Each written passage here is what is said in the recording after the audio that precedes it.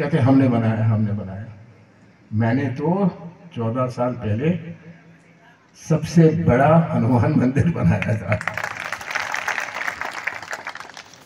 इससे बड़ा हनुमान मंदिर नहीं है। मेरी भावनाएँ थी कोई सरकारी ज़मीन पर नहीं बनाया, अपनी ज़मीन पर बनाया। हम सबसे धार्मिक भावना है। तो भाजपा वाले भड़काने आएँगे तरह तरह की अफवाहें। कमलनाथ आ रहे हैं भाजपा में। अरे कभी मैंने कहा मैं भाजपा में जा रहा हूँ, मैं क्या पागल हो जाऊँ?